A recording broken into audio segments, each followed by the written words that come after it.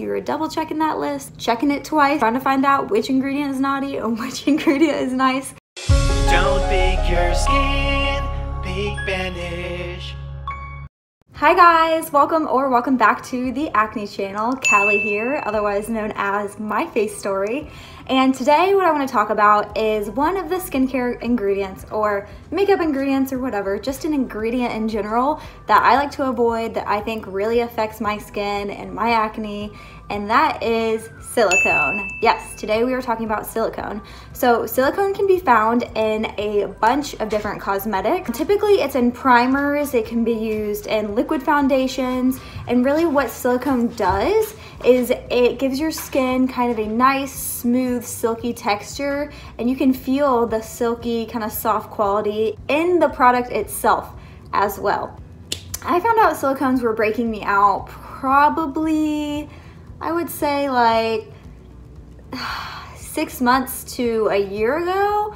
It's been at least half a year. But the way I found out was I tried a primer and it broke me out. I tried a liquid foundation and it broke me out. And then I tried another skincare item and it broke me out. And all these things happened so fast and I was getting cysts. And I wondered, you know, it was giving my skin this kind of burning, weird, oily sensation. Could there be a link between all these? And yes, they all had the same silicone ingredient in them. So now I steer clear of silicones. My skin doesn't break out as much really anymore. Um, of course, I still get like the occasional hormonal blemish, but who doesn't? I am just here today to talk about silicone and the reasons why I personally avoid them other than obviously the fact they break me out. They do break out a lot of people. Silicones basically First of all, they trap your pores. Kind of similar to plastic wrap, silicones pretty much have the ability to form a barrier on your skin. So once you have this barrier or plastic wrap on your skin, the dirt, oil, debris, everything underneath gets trapped. So once the pore is blocked and everything's trapped, that's basically the perfect breeding ground for bacteria and for acne to flourish. So that is why a lot of people break out from silicone. I think it's one of the most important ingredients, if not the most important ingredient to avoid, just because it is extremely pore clogging. Of course, it gives your skin that flawless airbrush look, but if it's making you break out, is it really worth it? Probably not. So the so second reason that I avoid silicones is because it makes your skin very, very dull and dehydrated. Again, because silicone is a barrier, it can prevent your skincare ingredients from working as well, which means that can prevent the moisture from getting into your skin. It can prevent your skin from becoming hydrated therefore it will be dehydrated, just like I said. Silicones actually interfere with skin cell renewal. So our skin renews itself pretty much every 28 days. So that's why they say use a product for at least a month to see through a whole skin cycle whether or not it actually works for you. When your skin's renewing itself, it's creating new skin cells, it's shedding the old ones. So that's why it takes time to get rid of hyperpigmentation, acne scarring, acne, all that stuff. When your skin goes through a new cycle, that is what's happening, that is how it's working. But unfortunately, if you are using silicones, uh, yeah, I would stop because they do slow down the cycle, which means that your old dead skin cells are stuck on your face longer. They're not sloughing off like they should. Your skin isn't getting hydrated and renewed and refreshed. It's just becoming kind of dull and congested and it's not gonna it's not gonna be as glowing. Again, it's best to just avoid this ingredient because of the acne, the dullness and the dryness, the preventing your skin cells from renewing, it's just, it's not a pretty, a pretty picture. On top of all of that, uh, silicone also has the ability to block all of the other skincare from penetrating your skin and from actually working.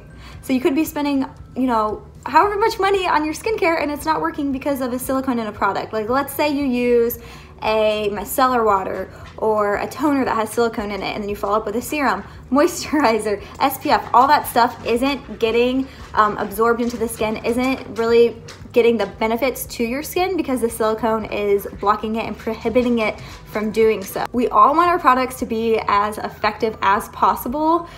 That being said, you're probably gonna wanna skip the silicone step. I'm gonna say this a million times. You just don't need it. You don't need it.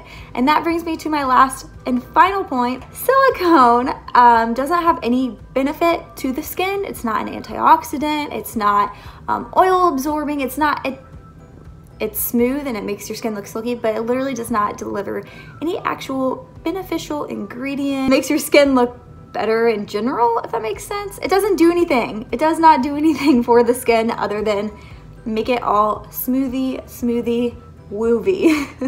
so, thank you for coming to my TED Talk, even though it was a very fast one, very fast TED Talk. I felt like this was an important thing to talk about just because it took me a long time to find out all the different ingredients and all the things that really do impact my skin and do break me out. And I think silicone is one of them. It is a major culprit, and I think it's a, something that a lot of people tend to overlook just because it is in a lot of foundation, it is in a lot of skincare, it's in a lot of products. So it's definitely something to keep an eye out for. You could just be using silicone in one product and it could still break you out terribly. When I tried to switch back to a liquid foundation, I kept all the same skincare, but I switched my foundation and I didn't notice for about a week or two, I started breaking out like a new cyst every day. And I was like, what is going on? And I realized, oh my gosh, I changed my foundation. Again, looked at my foundation and I had silicone in it. So it's just something to consider if you have not already. And of course, I'm gonna tell you guys how to spot silicone in beauty products, last but not least, because they do go by different names. It's not always just named silicone. So some of the most common names that you can see are obviously cones, so dimethicone is a big one. That's one that breaks me out. And surprisingly and interestingly enough, dimethicone is also used in some fried food. So if fried food breaks you out as well, it could be the dimethicone. Kind of interesting, right? So dimethicone, I think silicane, is that what it is? Conols, so anything with conol at the end. Silane or silane, S-I-L-A-N-E-S, anything with that on the end. Uh, polymers and siloxanes. But if you are in doubt, just make sure that you are looking up the ingredients, you are double checking that list, checking it twice, trying to find out which ingredient is naughty and which ingredient is nice, because I swear it will save you a lot of heartache in the long run. But yeah, welcome again to my TED Talk.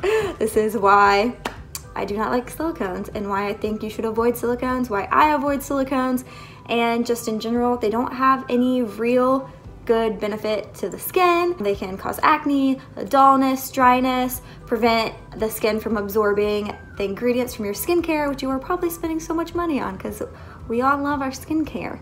You don't want your products not to work that you're investing in, you know? And I think that's all I got for today. Again, like I said earlier, so silicones aren't just in makeup. They can also be in skincare. They can be in hair care if your hair's rubbing against your face and it's making you break out. Body care. They can be in a whole wide range of products. So I would just avoid them as best as you possibly can. See if they affect you. Try cutting them out and you know do a little do a little test and see if it affects you or not. But yeah, that is all I got for today's video, guys. Thank you so much for tuning in. Make sure that you like, comment, subscribe down below, and I will see you next time on the Acne channel. All right, bye.